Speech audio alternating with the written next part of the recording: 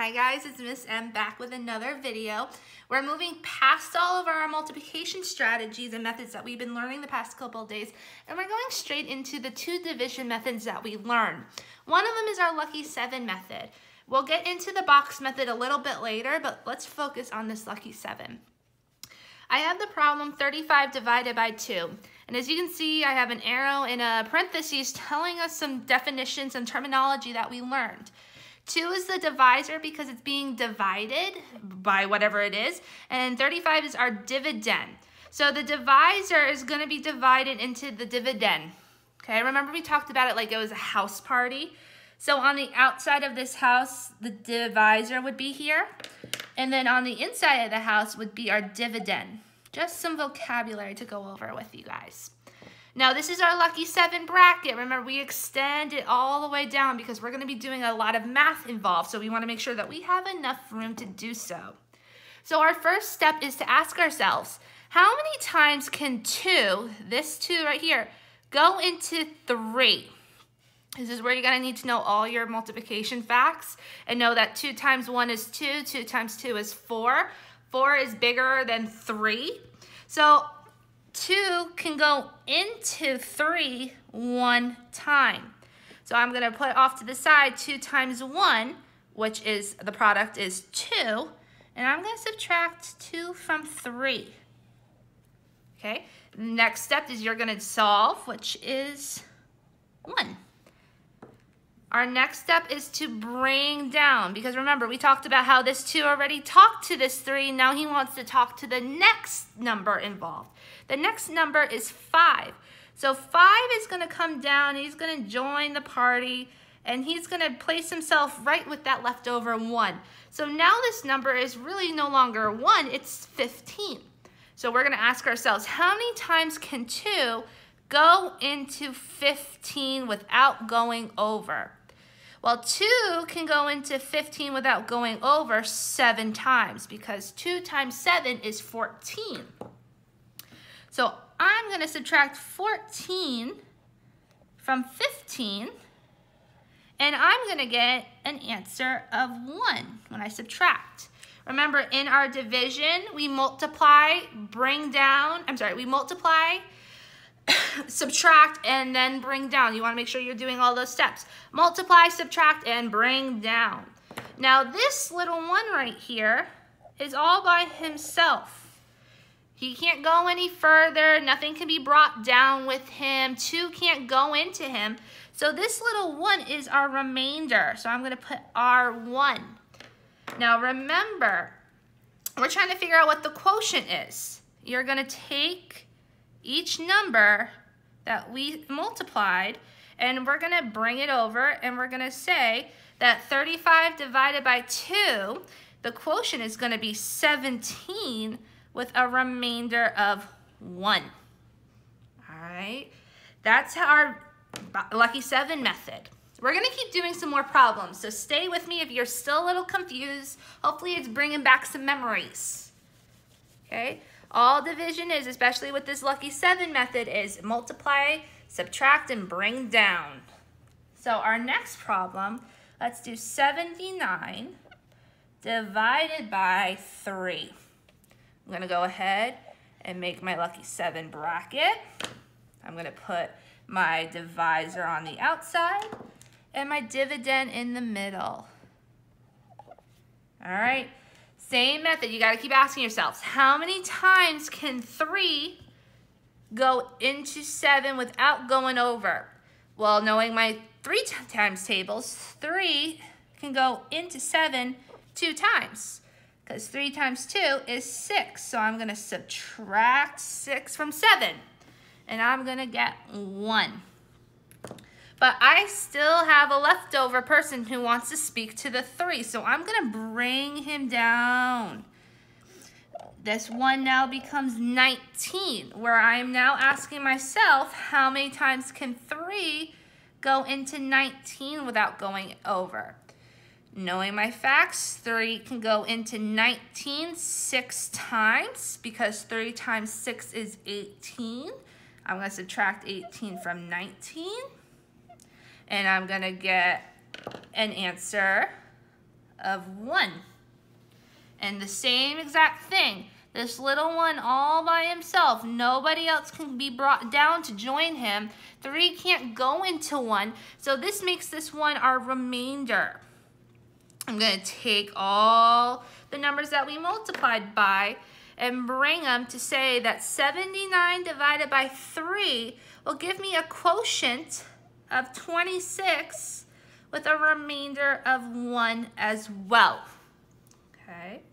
Now we know that we've been practicing, we've been practicing a lot with bigger numbers, so we're gonna get into some hundreds and some thousands places. All right, remember, lucky seven, multiply, subtract, bring down, multiply, subtract, bring down. If you have to say that to yourself a bunch of times, then do so. You guys were doing really well with this method when we learned it in the classroom. So the next problem I have is 4, I'm sorry, 500 divided by 4. Your divisor goes on the outside of the house. Your dividend goes on the middle. And you can start. Okay, now here you go. Take a look. How many times can 4 go into 5? 4 can go into 5 one time, which is going to be 4. So I'm to subtract 4 from 5. I'm going to have a 1 where I'm gonna bring down this zero. Now the next step, how many times can four go into 10 without going over? Four can go into 10 two times because four times two is eight and I'm gonna subtract 10 from, uh, eight from 10. Just do your borrowing and I'm gonna get two. But I'm not done because I still have this leftover zero to bring down to the party. So I'm gonna bring him all the way down. He wants to talk to our new guest, number four. So now that number, which was two, now becomes 20. So now you have to ask yourself, how many times can four go into 20 without going over? Well, this is a nice one because four times five is 20. So I'm going to subtract 20 from 20, and I'm going to get 0. There is no remainder in this problem. So if I take a look at all of these numbers, read them top to bottom, 500 divided by 4 is going to give me a quotient of 125. Don't try reading it bottom to top. You're to get a bigger number than you really need. You're to go top to bottom. Go like this. All right. now we're gonna go into the thousands place, which is basically the same exact thing, guys, except you just have an additional number, and that's perfectly fine. So I have 1,940 divided by 5. Okay, remember you want to make your lucky 7 bracket, the home, a bigger, big, so that way you're not squeezing in your dividend.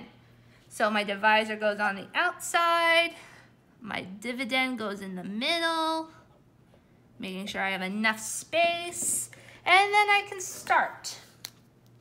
Ah, look, I ran into a problem because we know automatically we're gonna ask ourselves, how many times can five go into one? This five goes into one. Five can't go into one. So remember, when that happens, you're gonna pair up two buddies together in this problem for this example. So instead of saying how many times can 5 go into 1, I'm going to say how many times can 5 go into 19. Your number, your divisor needs to go into a number in the dividend. So if the first number in the dividend is smaller than the divisor, you need to group together and make a buddy. So 5 can go into 19 three times because 3 times 5 is 15. And I'm going to subtract. So 19 minus 15 is 4. Then I'm going to go and bring down this 4 right here. Now I have to ask myself, how many times can 5 go into 44 without going over? Well, 5 can go into 44 8 times, which 8 times 5 is 40. So I'm going to go ahead and bring it around and subtract. And I'm gonna get four. Now I'm gonna bring down this leftover zero. You can't forget a zero. You can't forget any individual number. Even if it's a zero, you have to bring him down. so now I'm asking myself, how many times can five go into 40? Well, five can go into 40 eight times. And I'm gonna subtract 40 from 40, and I'm gonna get zero. So the product, remember, underline and bring and write it down, go top to bottom. The product of 1,940 divided by 5 is going to give me a quotient of 388. Now, boys and girls, remember, I taught you a way how to make sure that you were doing absolutely correct and this was going to give you the right answer. I could take 388, this is our self-checking way, and multiply it by 5. I'm taking the quotient and multiplying it by my divisor.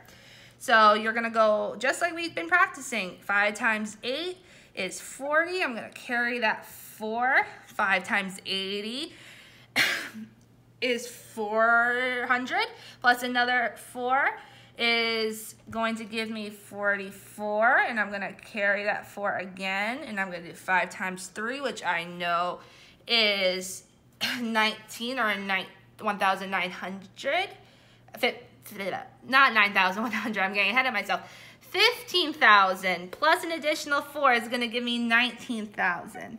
When I am able to check myself like this, I know that I did it correctly, that I got the right quotient because the product I got multiplying my um, product, multiplying my quotient by my divisor is the same as my dividend in the beginning of my problem. So if these two match, you know you did your math right. All right, we got one more problem we're gonna do. Always check yourself, boys and girls. I know it's an extra step and I know we might not like our extra steps, but nothing's worse than getting a wrong problem because you didn't take the time to check. So I have 2,762 and I'm gonna divide that by two.